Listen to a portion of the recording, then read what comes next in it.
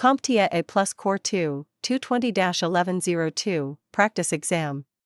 Questions 116 through 120. This video is part of our practice exam video series and is filled with questions that closely resemble the real exam. So are you prepared to test your knowledge?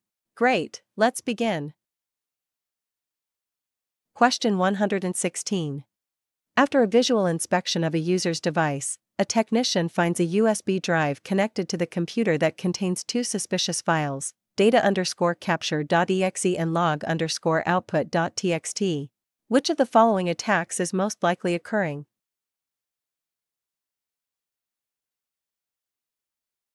The answer is D.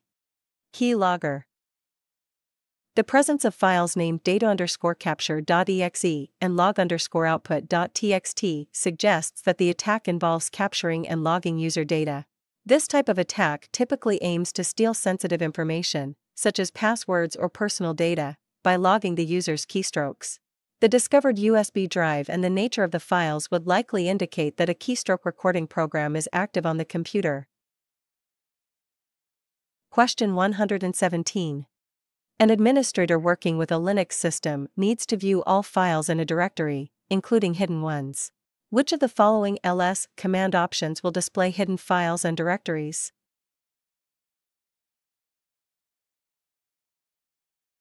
The answer is A. ls-a.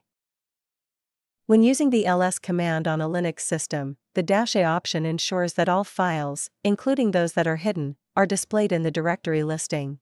This is particularly useful for viewing configuration files and other hidden data that might be crucial for various system operations or software configurations.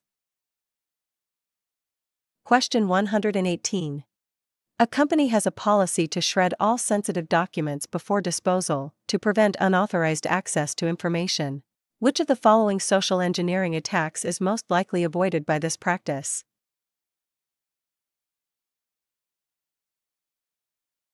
The answer is A.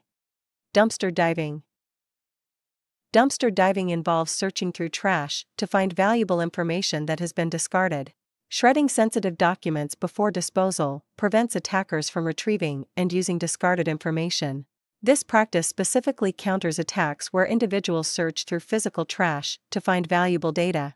Proper disposal of documents, including shredding, helps ensure that sensitive information is not accessible to unauthorized individuals.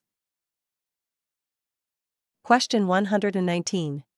A technician is setting up a new computer system and is deciding which file system to use for optimal performance and compatibility with the latest version of Microsoft Windows. They want to choose a file system that replaced the older FAT file system. Which of the following file systems should the engineer choose to best meet these requirements?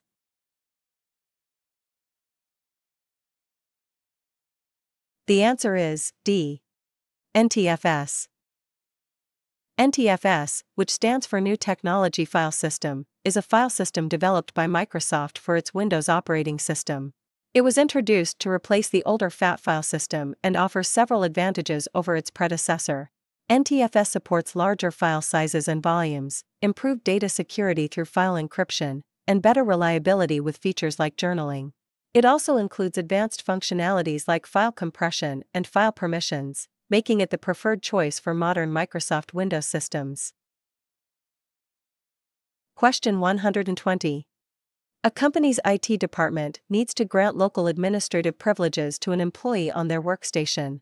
Which control panel utility in Microsoft Windows 10 should the technician use to accomplish this task?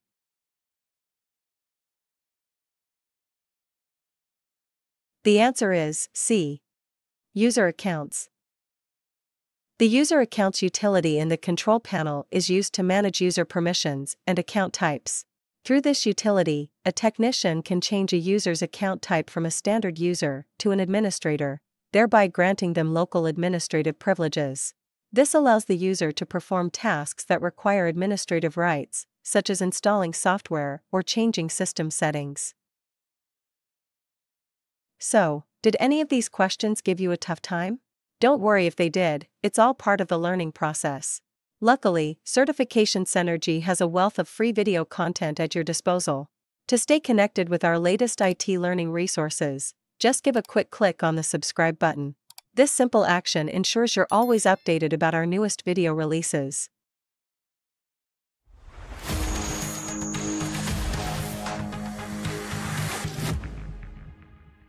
Thank you for watching. Subscribe for more great content.